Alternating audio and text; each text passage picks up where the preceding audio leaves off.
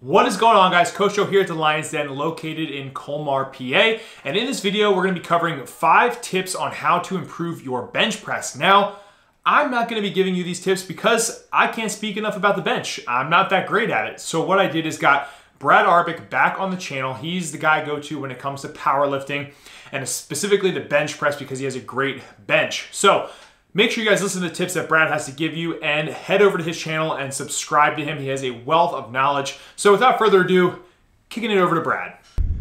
Hey Joe, thanks so much for the introduction. I really do appreciate it. And thanks again for having me back on the channel so soon. Uh, as Joe mentioned, he and I talked about um, some, some different ideas for, um, you know, to be able to help you guys. And one of the things that we thought might be beneficial is to do a little video on how to improve your bench press. So a little caveat before we get started. What I'm not gonna do is get into some of the mechanics of actually how to bench press. The, uh, I guess the, the presupposition here is that you guys already have some basic fundamental knowledge of bench press. And so what I'm gonna focus on here is five tips that are a little bit more nuanced uh, that will help you increase your bench press um, if you're able to utilize them and incorporate them into your into your training style. So I'm on the way to the gym right now and uh, I'm gonna do my own bench training and I'm gonna demonstrate some of these ideas for you, you know, as we go. So let's get into it. All right, guys, so the number one tip, right, getting right into it, I don't even need a gym or anything to be able to talk about this, this first tip. And the, the tip is don't max out all the time. So one thing that you see a lot of young lifters do, a lot of people do in general, is they're constantly testing strength if you really want to be able to build up strength long term, it takes a long time to develop. Strength doesn't happen on accident. And so what I would say a number one tip for, for anyone that's out there is stop maxing out all the time. You know, I know that you're curious and you want to kind of see where you stand, but realistically, you should limit your, your, your testing times to maybe sometimes like something between one to maybe three to four times per year. So maybe like once a quarter, probably at the most. And the reason why you want to do this is uh, for a couple couple fold. First off, it takes a long time to build strength. So if you're constantly testing yourself, it's like that kind of one step forward, one step back kind of thing. And you're not really building strength when you're testing strength, right? You're not gonna you're not gonna get stronger after off of hitting your one rep max. That's not how that works. You get stronger off of the, the you know the sub maximal work hitting that volume. Second reason is it's not too dissimilar from say like a car, right? if you're constantly redlining the engine in your car, you have a greater chance of blowing something, right? Same, same for your body. The constant one rep maxing, you know, week in, week out, that's taking your body to its limit, right? So the point that you reach failure, that's essentially redlining your body. And if you continuously redline your body, you're opening yourself up for injury. And if you want to get strong long term, it really needs to be about injury avoidance. So stop maxing out all the time. Alright, so I made it into the gym and uh, gonna start getting myself set up and this brings in tip number two. So tip number two for increasing your bench press is actually warm up. Um, so typically what I like to do is either run one mile um, at just kind of a normal, you know, comfortable pace or I'll bust out the jump rope and I'll do some jump roping. The idea is to get your body moving, get blood flowing, warm up your body, um, and get ready to do what you're about to do. Um, I see a lot of people come in and kind of go jump into whatever they're doing cold turkey um, without any warm up whatsoever. Um, so that's not to say you should exhaust yourself. Um, I'm not saying go run a marathon or run as, as fast or as hard as you can. Um, but for me, say like one mile is pretty comfortable. I'll run one mile at maybe something between an eight to maybe a 10 minute mile pace and just to kind of get my body warm and, and ready to ready to rock.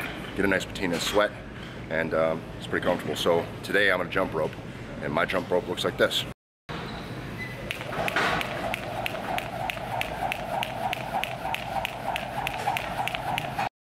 Typically with jump rope, I'll do sets of like 50. Um, so knock out 50, take a break, another 50, take a break.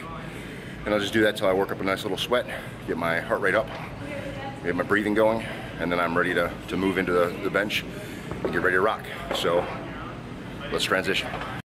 So my third point, or my third tip is get traction, right? So being able to have traction when you bench is important to be able to, to deliver power from you to the bar. Um, so if you're if you lack traction, you lack the ability to transfer power to the bar. Um, so a couple things you can do is you can use a band if you're in a training environment, um, and we'll, we'll, show you the setup with using a band for just uh, in just a second. Um, you can also get like an A7 shirt with the silicone discs on the back to give you a little bit more grip and traction on the bench. Um, or if you have the, a good bench available that has uh, you know good grip to it, using a bench that actually has the um, the upholstery that has like good grip to it, like a Thompson Fat Pad or something like that would be most preferable if you had that available to you. But if you don't have any of that available to you, you can use a band, and I'm gonna show you that setup right now. So you're gonna wanna use something that has a little bit of width to it. So you can use one or you can use multiple, but, um, but one of these bands that about this wide is usually pretty good. You said what?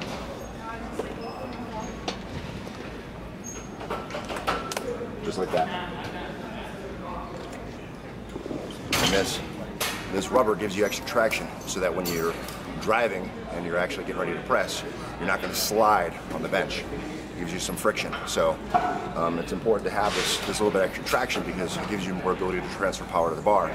It's kind of like the, the same thing um, if you can conceptualize what it might be like to try to squat on ice. You wouldn't want to do that, right? Because you don't have good traction to be able to deliver power to the bar. So squatting without, or I'm sorry, benching without traction is like squatting on ice. I wouldn't do it. All right, so the next major important thing to talk about is leg drive. Um, so what I see a lot of beginners do is they fail to use leg drive. Um, so incorporating leg drive is an important thing, right? And that just means you know maintaining tension and tightness in your thighs and driving with the leg.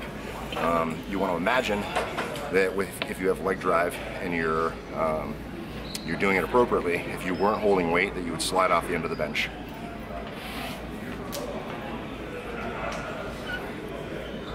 Or even move the bench in some instances. So it, it really is just an extension of the leg, right? You want to imagine you're, you're doing a leg extension, but not allowing your foot to slip. Once people start incorporating leg drive, one of the mistakes that they make is not using continuous leg drive. So it's this off on, off on kind of looking um, leg drive. And so it tends to look like this.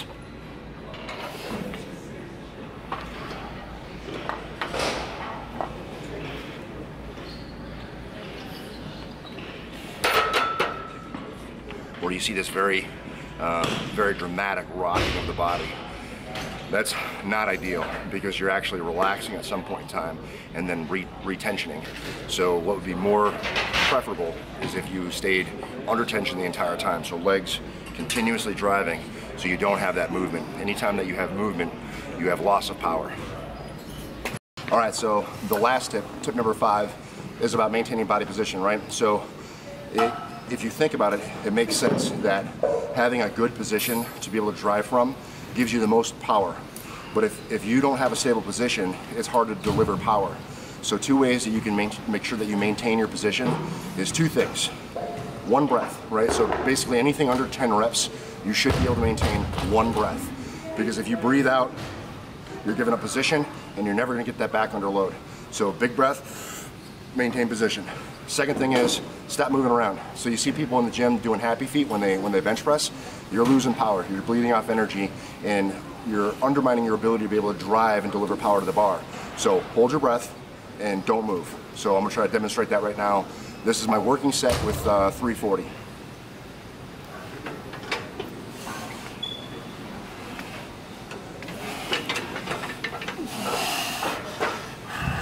One breath. Hop.